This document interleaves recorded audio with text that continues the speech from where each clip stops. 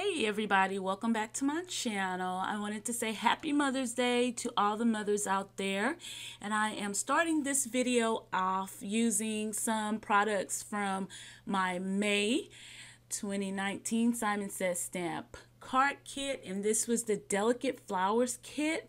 I'm taking the Tim Holtz uh, Silver Glitter um, Alcohol ink paper and I'm using the alcohol pearl inks in the color Intrigue and Tranquil and also the alcohol blending solution. And I first started off by just laying down or dropping in some of the blending solution. And then I'm going in with the color Tranquil. And um, I'm just randomly just dropping drops in. I'm just basically playing around with this ink using the alcohol uh, blending solution to just move it around. As you can see in the video, I did not protect my fingers or anything uh, from the inks. I was just so happy to get this kit and ready to play with it. So next I'm just going to drop in some of the color Intrigue. And I noticed that these two colors together produce a deep purple shade uh, that you'll see as I'm dropping in these drink of these drops. So I'm just going to go back and forth, adding color, adding blending solution um, until I feel like um, I got a look that I like. So I think this um, this cardstock, this um, Tim Holtz cardstock is amazing. I love this silver uh, silver sparkle. Sorry, I can't hardly talk. Um, but yeah so i've uh, laid down my colors. I i'm pretty much done basically with this panel. I like the look of it. So i'm just gonna let this dry. And then i'm gonna come back. I'm gonna cut this in two pieces. Uh, and it'll be um, i'll use both pieces for this project today. So I'm really loving this. And once it dries, it's like a pretty sparkly sheen on the paper that you'll see. Okay, so here's the dry panel. I'm just going to take my paper cutter and I am going to trim that in half. And I'm going to use both of these panels for this uh, card today. And I'm making a Mother's Day card. So I decided to get this video edited and upload uploaded to release on Mother's Day. Um, so yeah, next I'm taking some uh, wafer dies. Um, this one I cut out one of the panels using the Crafter's Companion Grand Swirls, which I'll show you guys. And then um, I'm also going to be using a Spellbinders uh, die, and it's going to be the Radiant Rectangles uh, later on in this video, and I'll show you that as well. I really love this because you can cut out the inside of the grand swirls or you can cut it out as a whole panel uh, with borders. So I just wanted to add this to this panel to add some texture and a little bit of dimension and I like the look of it. So this is uh, where I, I brought in the uh, Radiant Rectangles uh, by Spellbinders and I wanted to just mat that pretty shimmery panel on top of the rectangle panel.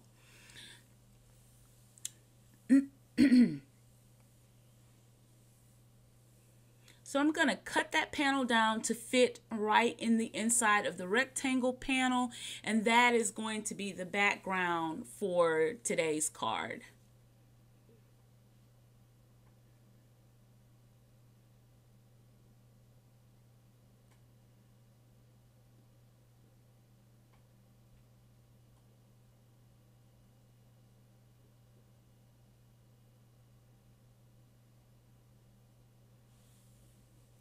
Another tip um, that I could say when you're using these really intricate dies, when you're needing to adhere a die cut like that to a panel, using spray adhesive is a great way to get that done.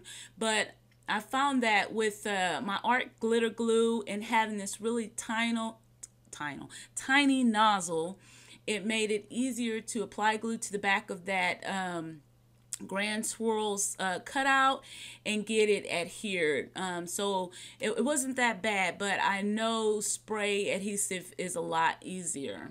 You just have to really protect your work surface when you're using that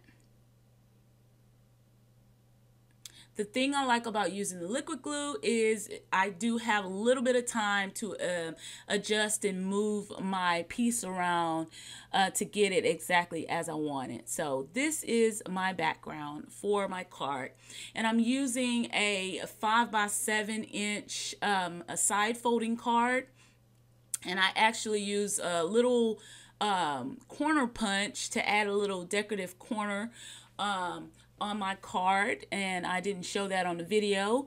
Um, I'm adding some uh, adhesive tape runner to the back because I wanted to add a silver ribbon to this card. Um, and this ribbon, I actually found this ribbon. It was on sale. It was the His and Hers collection ribbon on sale at Hobby Lobby a little while ago. It was 50% off. Um, I love it. It matches that uh, silver sparkle cardstock really well. And um, I just thought that made a really pretty accent for this card.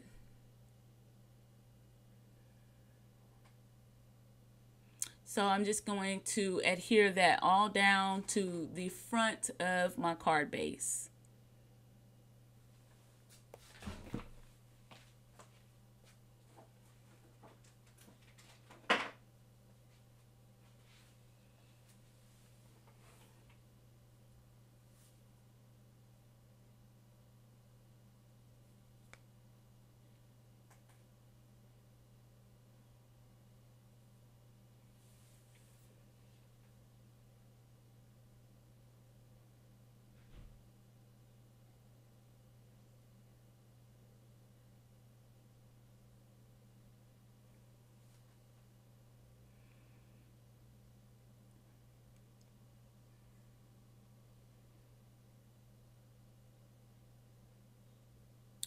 So next I'm just going to tie a small bow to the front of my card.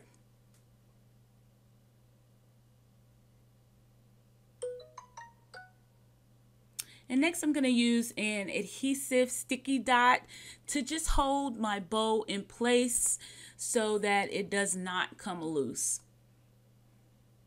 And I love these little clear sticky dots because once you um, adhere whatever you need to adhere, they're clear and you can't see it. So that was perfect um, to keep my little bow in place.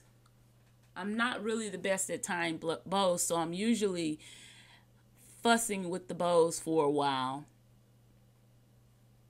I'm going to add one more of those uh, sticky dots.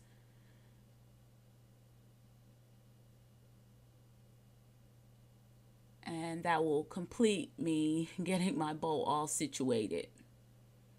So here's what we have so far. And I just love this card. So next I showed you guys these little butterfly stickers that I found at Dollar Tree. So I added three of those stickers for embellishments. And I used another Spellbinders uh, labels die. And I cut out a couple of those. And then I'm taking the Simon Says stamps um, um, they're like pre-printed sentiments. And so I'm just cutting the one that says happy mother's day out. And I'm going to adhere that right on top of that label and I actually use some sticky dots to um, give that label a little bit of dimension on the front of my card. I stamped on the inside of the card and I used this Mother's Calligraphy stamp by Paper Inspirations. That's another old stamp that I've had in my stash that I really, really, really love. And that pretty much completes this card. If you guys like this uh, video, please give me a thumbs up. If you're not subscribed, please click the link below to subscribe.